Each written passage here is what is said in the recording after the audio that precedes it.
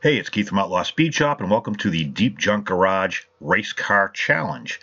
I had a GTO picked out and all set aside, and at the very last minute, like literally the last minute, um, this kind of struck me, and I decided to go with the Monte Carlo Super Sport. As always, if you like what you see, make sure you subscribe, like, and ring the bell to get notified of all future videos.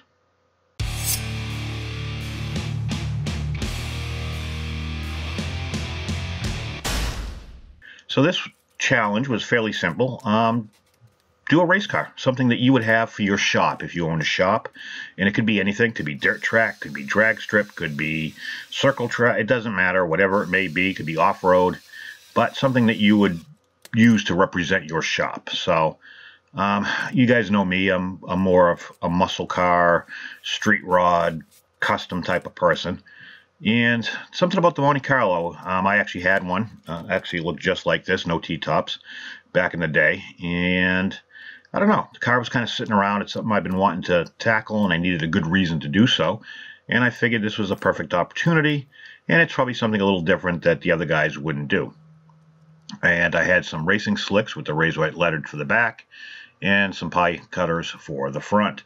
So I figured it was going to be perfect. And the only issue, as usual, is the length of the, the wheels or the axles that happen to be on the donor wheels were not quite the right size. So uh, the backs were good, but the fronts were too too short. So um, I'm using my 1 16th K&S brass tubing, and I mark it out. I cut it with my whiz wheel that's attached to my Dremel tool.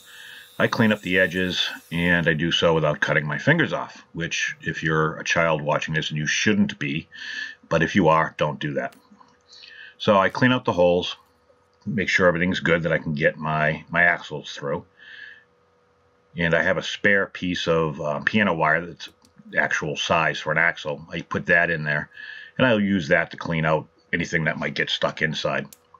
And it's pretty helpful, so um, it's always good to have a spare piece kicking around and then I cut my axle in half and that works perfectly to space out the wheels. Um, I know that the axles, the original axle was too short to begin with, so them touching when I put them in is not going to be an issue. Um, so sometimes you have to trim them up a little bit if you're actually shortening it. Um, this was not the issue or the case in this time. So it worked out really well. The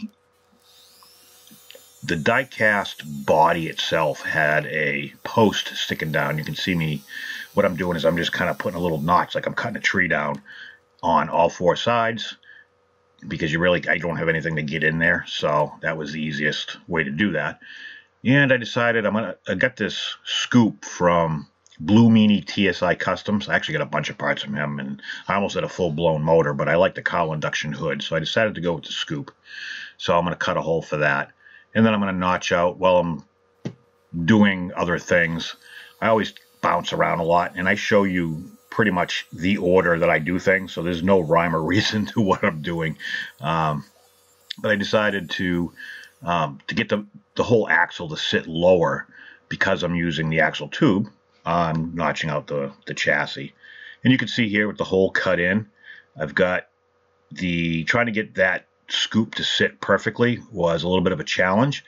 What I ended up doing is making a spacer that goes on the glass because obviously the engine has a certain degree of rake to it when it's sitting in a chassis and it just looked funny otherwise so I had to kind of prop it up a little bit. But after cleaning the body, I'm pretty much just going to uh, put my screws back in, wipe it down with my mineral spirits. I'll wipe it down with some degreaser and pretty much ready for paint. And I kind of hemmed and hawed on the color on this because I want to be able to put decals on it, but yet at the same time, uh, just keeping it a light color really seems stupid because it's a race car. So um, I kind of went back and forth on what color I was going to paint it, how I was going to paint it, um, a pattern. Here I'm using a degreaser. Um, you know, so painting for me, I like but it's also it's one of those things that's very permanent. I mean, granted, you can restrip it, but I put a lot, probably more thought than I should into how I'm going to paint things and what I'm going to paint and what color and all that crap. So um, it was one of those things that was a little bit of a challenge. So the base, I'm going with, or the chassis, I'm going to go with my Chaos Black, which I use on just about everything. And it's got a nice semi-gloss look to it. It's perfect for chassis and certain parts that, you know, um, I, I, I use it on everything. So uh, it's just, it's a really nice, and it acts as a primer. So I find it very helpful and time saving at the same time. So I do have Stynylrez, but I've also got these cans of um, Tamiya fine primer. So that's what I'm doing right there. It was gray. And then I'm using uh, a Cortez silver from Splash Paints, which comes right out of the bottle and right into your gun. There's no mixing anything in it. It works out perfectly. Um, it's a base coat clear coat system, so you obviously you'll have to clear it afterwards, but I clear anyway, so it works out really well. Um, I've never had an issue with this stuff running. Put a couple light coats on, and you can put it on as almost as well, not I'd say as heavy as you want, but you know within reason. But I'm going to do the whole car in silver, and I'm going to put I believe I put three coats on it just to make sure I had it all right.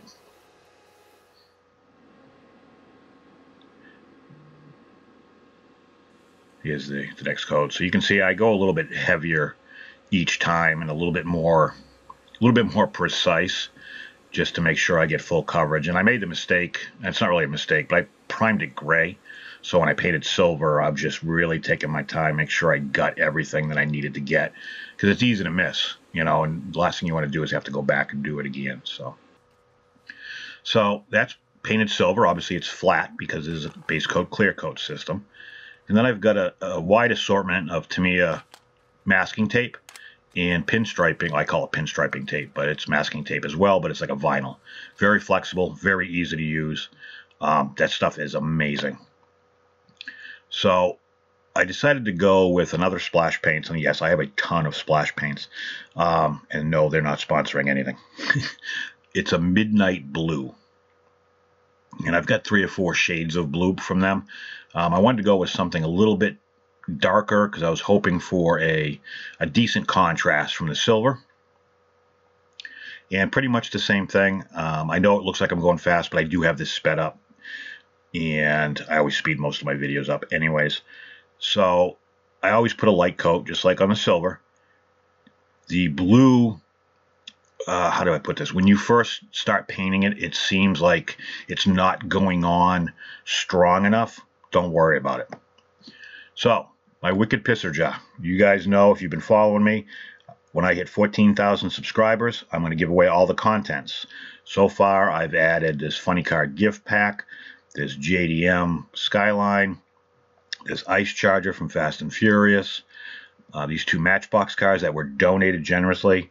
I get this 50 car display case car. I got this Maisto set.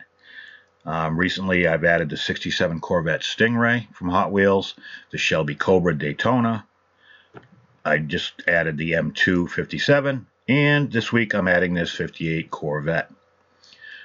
And it'll all go to one subscriber when I reach 14,000. So after everything's dried, I'm going to use my Citadel paints for all my detail marker lights, tail lights, uh, grill, you name it. I'm pretty much using Citadel because it's water-based, and when I screw up, I can fix it. and it just really works good to get a good assortment of colors. I'm happy with it. Uh, it works for me. Uh, everybody's got their own. Model Master works great too. Um, I just happen to like that. Also from Lumini TSI Customs, I'm also adding um, a, a nitrous bottle. And while I'm at it, I'm also going to detail. I like the gray interior; it matches. So I'm just going to highlight the, the racing um, seat belts and I'm going to do the speakers as well because if you're cruising around in a Monte Carlo Super Sport, you should have some Jensen triaxial speakers. uh, decals are from Kenny Terry. Um, as far as what I decided to do is do Outlaw Speed Shop, which I have a large assortment of that I printed myself.